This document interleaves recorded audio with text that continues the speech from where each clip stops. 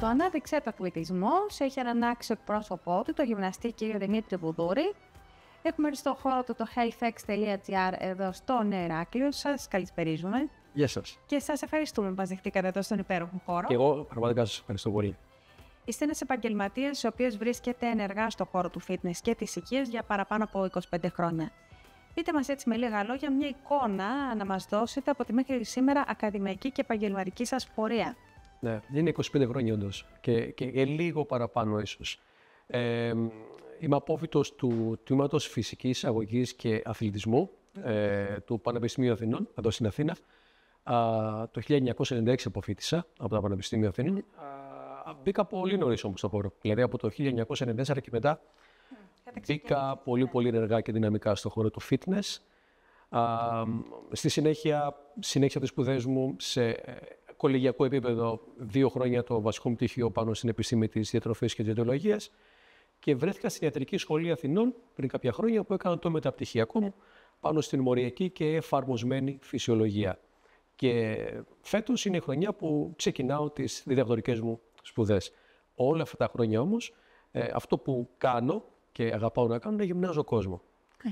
Ε, υπήρξαν ιδιοκτήτες ενός πολύ μεγάλου γυμναστηρίου στην Ιωνία επί 11,5-12 χρόνια και πλέον ε, τα τελευταία έξι χρόνια έχω στραφεί σε αυτό που πραγματικά κατέληξα καθώς πέρανε και τα χρόνια ότι μου αρέσει περισσότερο να κάνω, να δουλεύω με εξατομικευμένες λύσεις για ανθρώπους. Άνδρες και γυναίκες, γυναίκες και άνδρες. Personal trainer. Ακριβώς. Συχνά αναφέρεστε στην ανάγκη να εκπαιδευτεί ο κόσμος σε μια κουλτούρα που θέλει την άσκηση να στοχεύει πέρα από το αδυνάτισμα. Mm-hmm. Δεν μας λέει μόνο αυτό. Ακριβώς. Να πούμε λίγα λόγια για να δούμε τι σημαίνει αυτή η φράση για σας, δηλαδή τι εννοείται με αυτήν. Ποια είναι η καλύτερη μορφή άσκησης για κάποιον που αναζητά να ξεκινήσει; Και ποια είναι η καλύτερη μορφή άσκησης, πολύ καλή ερώτηση και αυτή. Το περπάτημα, για παράδειγμα. Ναι.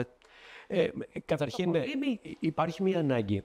Και καθώς περνάνε τα χρόνια και κοιτάω πίσω τώρα, πιστεύω ότι ακριβώς αυτή η, η ανάγκη να να μάθω πράγματα και να εκφράσω πράγματα για την επιστήμη που αγαπώ πολύ, αυτό, αυτή την άσκηση, άσκησης δηλαδή, ε, ήταν που ε, με όθησε να ψάχνω αυτές τις ε, ερωτήσεις και τις απαντήσεις.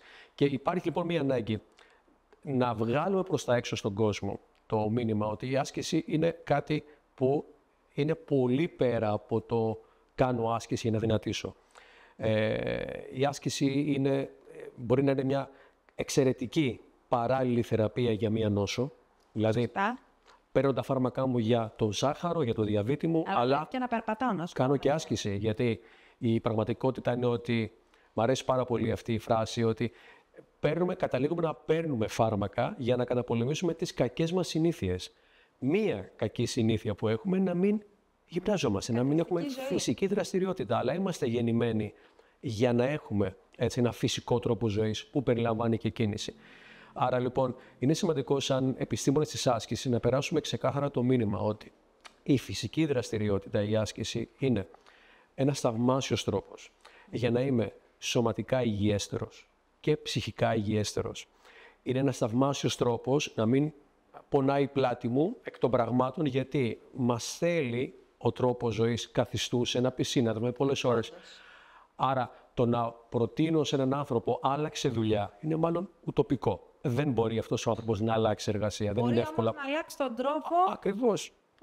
Μπορεί όμως να βάλει φυσική δραστηριότητα λοιπόν στη ζωή του και να καταπολεμήσει τις παρενέργειες που έχει ο τρόπος εργασίας του. Να βρίσκει ίσως και κάποια διαλύματα μέσα στην ημέρα ή μέσα ναι, στις ναι. ώρες στο κομπιούτερ και να κάνει έτσι 5-10 λεπτά μια βολτίτσα. Έτσι, είναι δεν καλό και αυτό. Ναι, ναι, υπάρχουν πολλοί τρόποι. Πάρα πολλοί τρόποι. Και ε, ακριβώς επειδή υπάρχουν πολλοί τρόποι, έρχομαι να απαντήσω και στο ερώτημά σας ε, ποιος, ποια είναι η ιδανική, η καλύτερη μορφή άσκησης.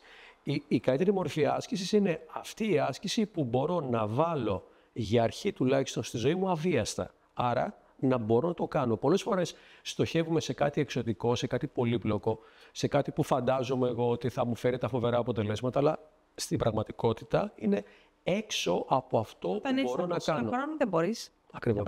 Άρα τελικά καταλήγω να μην το κάνω.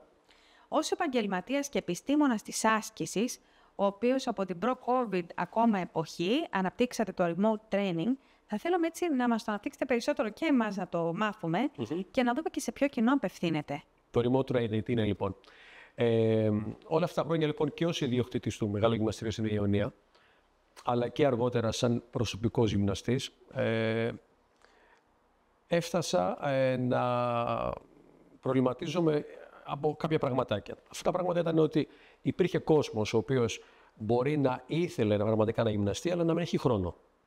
Υπήρχε κόσμος ο οποίος μπορεί να ήθελε να γυμναστεί και μαζί μου, αλλά να μην βρίσκαμε Τους χρόνους. τους χρόνους μας. Ε; Και κόσμος ο οποίος μπορεί πάλι να ήθελε να γυμναστεί μαζί μου ή να έχει την καθοδήγησή μου, αλλά να μην είναι καν στο, στην πόλη της Αθήνας. Να είναι Ναι, εκτός Αθηνών, ναι, να είναι μακριά. μακριά.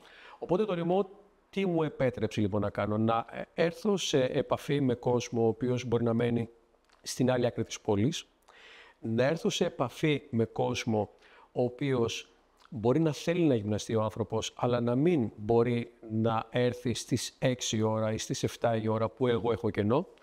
Και έτσι δημιούργησα ένα, μ, μια μεθοδολογία καθοδήγησης για άσκηση του κόσμου.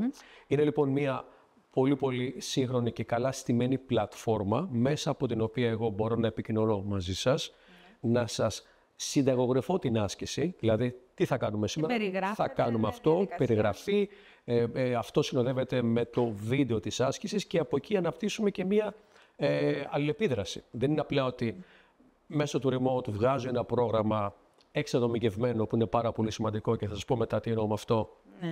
Είναι ότι φροντίζω ταυτόχρονα για το χρονικό αυτό διάστημα που έχει εκπονηθεί το πρόγραμμα της άσκησης, για τέσσερις εβδομάδες για παράδειγμα, να έχω μία καθημερινή επαφή με τον ασκούμενό μου, να βλέπω πώς έχει γίνει το ασκησιολόγιο του, εάν έχει μικρές δυσκολίες ή προβληματάκια, έτσι ώστε να δίνω λύσεις. Ωραία. Ένας από τους λόγους που ο κόσμος εγκαταλείπει την άσκηση είναι ότι δεν δίνονται συγκεκριμένες λύσεις στο κατάλληλο timing. Δηλαδή, είναι πολύ εύκολο να πάρω τον πυροσβεστήρα μου τώρα και να σβήσω μια μικρή φωτίτσα εκεί στη γωνία, τώρα να τη σβήσω όμως, παρά να αφήσω τη φωτιά αυτή να εξαπλωθεί και μετά να τρέχω να σβήνω ολόκληρη την πυρκαγιά. Ε, και πάντα υπάρχουν μικρές δυσκολίες, μικρά προβληματάκια που πρέπει να λύνονται προκειμένου ο ασκούμενος τι να κάνει, να καταφέρνει να μένει στην υπόθεση άσκηση, να εξελίσσεται και να προχωράει. Αυτό είναι το coaching. Αυτό είναι το remote, ουσιαστικά. Ναι, ουσιαστικά coaching όμω. Coaching είναι ακριβώς. Coaching της αποστάσεως. Είναι εκπόνηση προγράμματος εξατομικευμένου, το νούμερο ένα, το οποίο γίνεται κατόπιν αξιολόγησης που Σωστά. οφείλει να γίνει στον κάθε ένα ξεχωριστά, γιατί κάθε άνθρωπος είναι ξεχωριστός. Και μετά είναι το άλλο μισό, είναι το coaching. Ωραία, σου έβγαλα ένα πρόγραμμα. Πρέπει να σε βοηθήσω, να σε στηρίξω, γιατί ξέρω, είμαι σίγουρος γι' αυτό, ότι θα υπάρχουν δυσκολίες. Για κάθε καινούργιο υπάρχουν δυσκολίες. Πρέπει να σε βοηθήσω σε αυτό.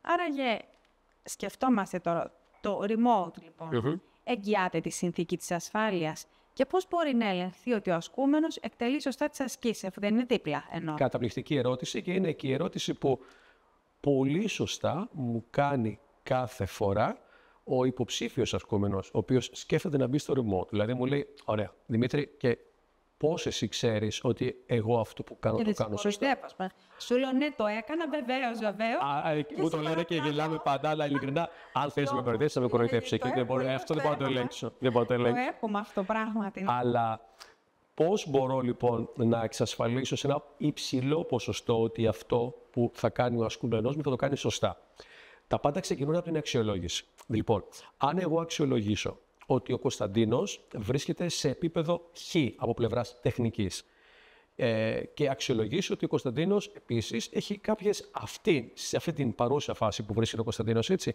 κάποιες δυσφο- δυσκολίες όσον αφορά την κινητικότητά του. Ναι. Άρα λοιπόν η ορθή αξιολόγηση από την αρχή θα μου επιτρέψει εμένα να επιλέξω το κατάλληλο ασκησιολόγιο. Για κάθε άσκηση υπάρχουν level. Ε; Σωστά. Πιο απλό, πιο σύνθετο, πιο σύνθετο.